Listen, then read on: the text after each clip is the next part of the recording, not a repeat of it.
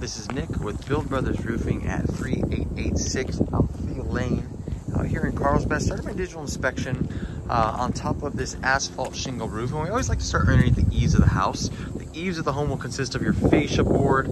Uh, you have your rafter tails, and then you have your starter board. And the reasons why we like to start underneath the eave is that it gives us a really good idea about what kind of wood damage we can expect on this property. It shows us how, how good of a job the roof is doing as far as, you know, keeping water off the property as well. But you can see we do have some wood rot going on over here in this corner. Um, this house was just recently painted, so, you know, a lot of Bondo was used to kind of seal off some of this bad wood. So hopefully that does help. Um, but we can see that there have been some termite damage in the past, has been some termite damage in the past as well, as we can see. So there will be some wood repair on this project. Um, but because they did replace, looks like they replaced some of the fascia board um, and it looks like they painted everything over. So, you know, I don't see the board repair getting too extensive on this property. Now, going to the, product, the shingle product itself, this right off the bat, we can see how much granule loss has started to occur on this property. So if I scoot back over here, you can see how shiny it is with the, the sun shining against it.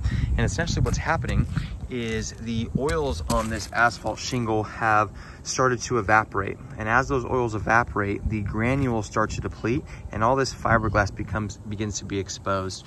Um, once that starts to occur, occur, it's a telltale sign that the product has gone past its life expectancy. Uh, I wanna point something out over here on this section also. We can see that there's no gutters on this home.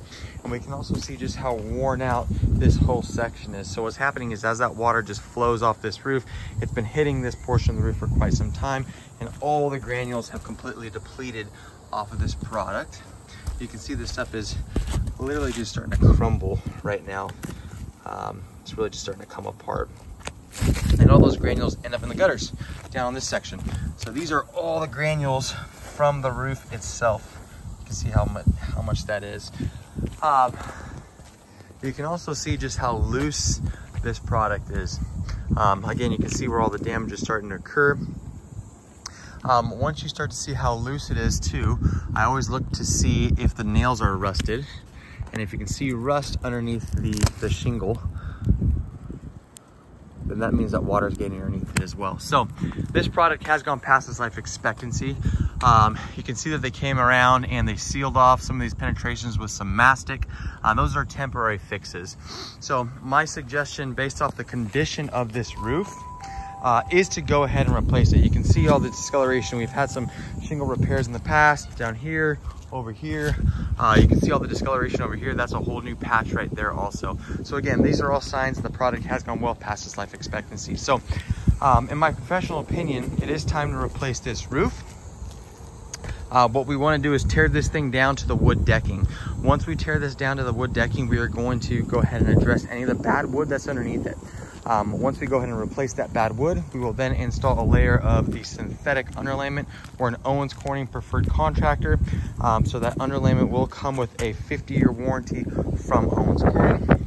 We're gonna need to go ahead and seal off this penetration. This looks like a new one. And you can see how water and moisture will just get right down in there too. Um, so we can seal that off also for the customer. Anyway, back to the roof. Um, brand new synthetic underlayment, 50 year warranty from them. We're gonna go ahead and add starter shingle along the entire perimeter of the roof. We will then go ahead and install the drip edge. Drip edge is this piece of metal right here. Uh, this drip edge allows water to run off the, the, the metal itself as opposed to running down the wood, which will help protect this wood in the future. So brand new drip edge, and then the actual roofing shingle goes right on top of that. Um, the Owens Corning roof will come with a 50 year warranty, like I said. Uh, we're gonna go ahead and increase the exhaust ventilation on this roof also.